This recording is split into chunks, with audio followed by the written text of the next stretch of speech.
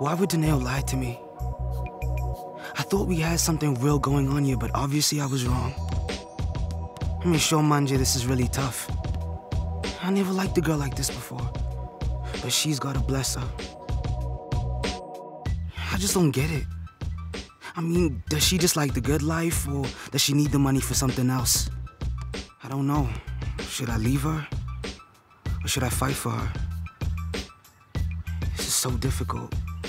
No girl has ever done this to me. I don't want to give up on her. But maybe she's playing me. I just don't know.